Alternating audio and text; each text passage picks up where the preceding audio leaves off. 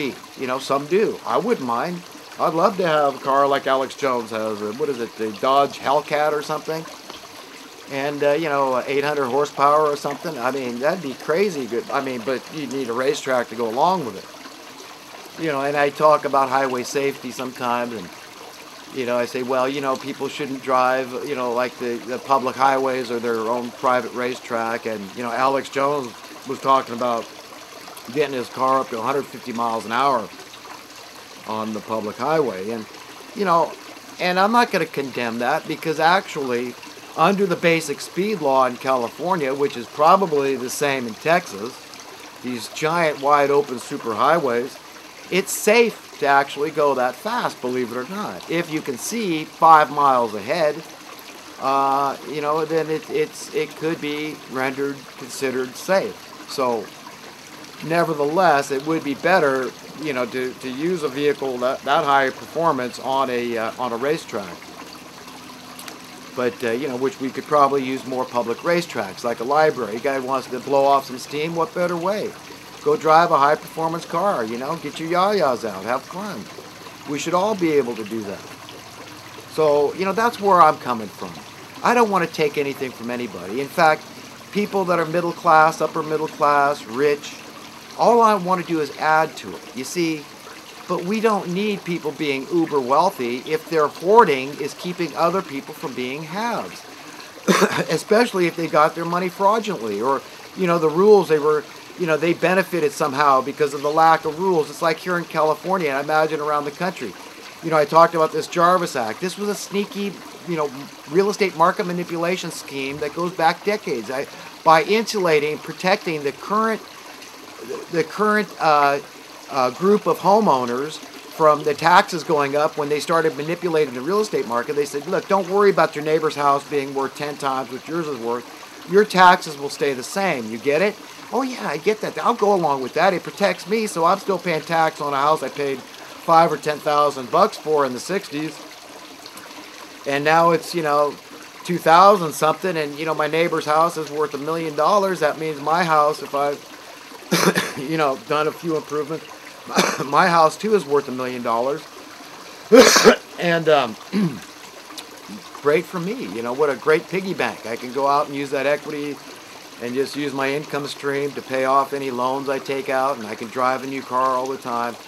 When I'm paying this property tax, that's you know a nominal fee, like returning a late library book or something. But this guy over here, he bought a million dollar house. He's stuck with paying over $10,000 a year on 1% interest. But it's like that. You know what I'm saying? Is that around the country that you've been insulated from the Jarvis Act, Proposition 13. And so it's been a more moderate rise in prices. Now I saw in Nevada, Las Vegas, Nevada, there was two years in a row, and it happened to be a period when I was living down there, about 2001 to 2003 and the house uh, housing prices actually was after the year I left when they went up two consecutive years in a row, 50% a year. Housing costs went up 50% a year for two years in a row. And if you don't think that's due to a lack of regulation and market manipulation and price fixing, I've got news for you. It is. It's, it's a lack of rules and regulations. And why should there be rules and regulations when I'm such a free market, supply and demand, uh, capitalist kind of guy. And that's the only kind of capitalism I prescribe to. You. Remember, it's got to be pure, which the kind of capitalism we have now is nothing like that. It's crony capitalism, it's fascist capitalism, whatever you want to call it. It's not true capitalism in any way, shape, or form. So I am into regulating essential human needs very strictly to protect the consumer from price gouging. This is this is market manipulation. This is collusion. This is price fixing. This is different groups that have an interest in jacking up the cost for that commodity, and they're taking advantage of the consumer by so doing. Now in California, we had this rent control thing here, which did protect to a degree that landlords were, were, were kept from, uh, you know, jacking up their prices really quickly overnight. But it was only in certain counties and cities where they had this problem. They thought it, they perceived this problem that was causing, you know, too much burden on the social welfare system and this sort of thing. but they have gradually been lifting it, eroding it, and under the guise that this was anti capitalistic, that this was anti free market, that this was a communist socialist program. And I think, my God, these people sicken me. Okay? They now they, they say, well, you know, we're trying to make it more cop they're talking out of both sides of their mouths. We're trying to make it more socialistic. We're trying to make it more, you know, Robin Hood like, taking from the haves and giving to the have nots. Well, the problem with inequality keeps growing. The poor keep growing. You know, keeps the amount of poverty keeps exploding. We're losing in the middle class. The rich get richer. The wealth disparity keeps growing, and they're saying we're going towards social. If that's socialism, I want nothing to do with it. I never did. I was never deceived into believing it. You can look through history, the, the miserable failure that socialism has brought. Look at France, they're paying everything to taxes. I mean, look at, and, and they're so ignorant. It's like these Mark Dice videos. He goes out, people want to ban the Bible from being sold on, on eBay. And in France, uh, what is it? Some huge percentage of these people, I mean, it's not half, but, uh, you know, a huge percentage support ISIS. It's that same kind of mentality. This widespread ignorance, whether it's happening on a subconscious, subliminal, inadvertent level, but people are stupid. They're stupid. They don't understand any history. The ISIS group doesn't understand. If they want to blame Christians, they're way off base, man. Christians have never been opposed to Muslims. Never. And neither have the Jews. If you look into it, Jews, Christians, Muslims, if they're real, they're real. They're all serving the same God. And that God calls us to truth, that God calls us to living together in peace and harmony, to living together in the way He wants us to live together. But there is this synagogue of Satan, even Jesus talked about, that call themselves Jews. And we know that if you're a decent, upright Muslim, you cannot, you cannot condone the behavior of ISIS in their attack against Christianity and Judaism. You can't do it. You can't do it. So, you know, people need to stop being ignorant. You need to learn a little history. You need to say, well, I wasn't taught this in school about the. Well, find it out on your own. Understand the value of under, of knowing and how how pernicious, how bad it is for the society at large that you remain ignorant, how you're hurting people. Your ignorance hurts people because you're the ones that complacently, indifferently go along with this system. And by so doing, by conforming, to the ever growing tyranny that we're experiencing, you're part of it. Okay? And you're going to the same place with those hypocrites. Okay? Where there's the weeping and gnashing of teeth. Where people, when they're, once their riches have rotted and they're so miserable because they just hoarded this great wealth thinking this was their security, this was their happiness. This was what really counted. This was real. This was common sense and pragmatic and practical. They were the smart, wise men of their day, the learned ones that really knew what was treasure and what wasn't. I've amassed a fortune and billions and all this. Nonsense. Okay? Nonsense. They're going to hell. If that's where their heart is, that's where their soul is. Okay? And then you're going to a more painful place. The earth to me is way painful enough. I can't enjoy my life here. And this brings me into this idea of all the ways that we find to punish ourselves because we feel inadequate. We know that something deep down inside is bugging us. Why do you think there's so much drug addiction, so much alcoholism, so much sex addiction, so much gambling addiction, so much uh, addiction to entertainment, so much addiction to food? These are drugs. All of these act as drugs on the mind, okay? God gave us natural drugs in our body. A lot of these are natural drugs that God gave us that we are we are uh, sparking. You know that these drugs we're going to say we've got to escape. We've got to escape from our reality. We need a fix, and that becomes our mindset. So it turns into if, if it if it's healthy, it's it's uh, it's if it's not too unhealthy, let's say, then it's not too self-destructive.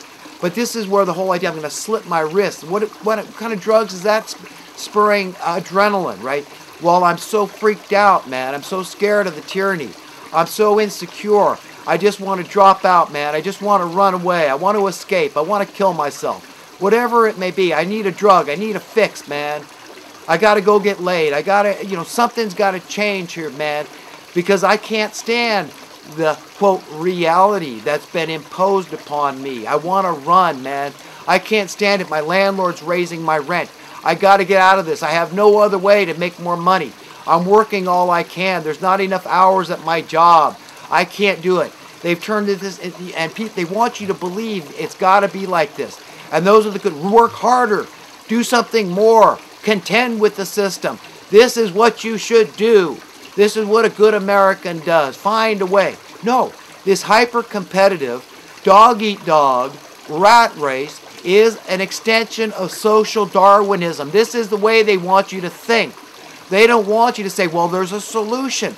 If there's only X amount of hours available in my community to work where I am, you know, I'm stuck, I'm confined to working within my community, then I've got to say, logically speaking, there's only so many hours, so let's share, if you want to call it pain, and there's not enough work to go around, you share the pain of unemployment.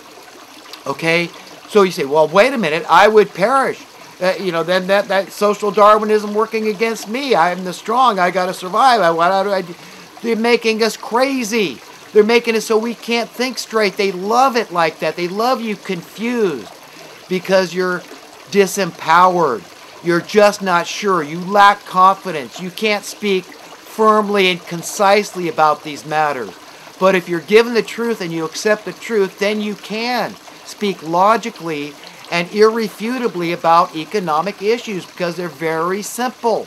But they don't want you to figure it out. That's why they convolute everything. That's why I don't get into a lot of, well, credit default swaps and, and derivatives and this and that. It's all just hokey pokey. It's all just sorcery of another type. Hey, Rick should have read the fine print, buddy. when they're the ones that wrote the fine print. They're thieves, they're criminals. It's open criminal. They've taken all every semblance of ethics away. There's no value. We don't need that stuff. We, we don't need rules and regulations. We just want to amass a fortune. Rape, rob, we don't care. It's capitalism, man when it's not. It's the furthest thing from any tr- true form of capitalism. Tr- true capitalism brings what JFK tried to give us huge tax cuts. Okay? How do you explain tax receipts going up after huge tax cuts? Because people don't want to be forced to pay taxes. They don't want to be coerced. They want to pay of their own free will, their own free accord. And what's so radical about the idea of being able to earmark those taxes, whatever you're paying? You say, I don't believe, I don't want to support abortion. I'm not just going to just arbitrarily pay my taxes to, oh, the great tax god. No. No, I'm going to decide where it goes. I want it to go here or there. Or if I don't want it to go to education because I don't like what's being taught, so none of it goes there. You know, where is this oh great curriculum god that decides what's important and what's not? Where are these people? Stand up and show your faces. Okay? That's what we need to say. So it, it seems very logical and reasonable to, to me to say you get to earmark where your taxes go if you're going to pay taxes, and it should be voluntary. And tax receipts would go up when you don't force people to pay. They'll pay more when you don't force it down their throats. At the, you know, you do it or else. You know, here's the implications. Here's the ramifications if you don't pay your taxes. We can make it for sales tax. You don't want to pay because your sales taxes are going to something you don't support. So be it the taxes will still go up because people are paying it of their own free will. It's like giving a tax, a tip. People pay tips because they love to give tips. They love that feeling of generosity and sharing. People innately, instinctively, intuitively want to be that person. They want to be generous and sharing and giving, but they don't want to be forced to do it. They'll give more when they don't have to be forced. So it's all logical and reasonable. And JFK tried to give a sound currency. He was an egalitarian. He was an equalitarian. He knew that this would cause, you know, a, a, a, an extinction of the wealth disparity through universal prosperity, through sound currency. And America could have set a shining light example. It would have spread throughout the world. All around the world, we could have this. All this suppressed clean technology could be released. If money wasn't an issue, all these patents are being held and bought up. You know, because there's money. It's all about the money, right? We can't release this patent that could get us off oil because well that's my my money interest my fungible asset my money is the oil let's say whatever it is my it's stocks and bonds these people suffering with the with the volatility of the stock market recent up and down. They don't know what to do. It's making people nuts. They're afraid to death. Oh, that's their fear. That's their security. Remember, is in their stock, their pensions, all this kind of stuff. I get it. I get it.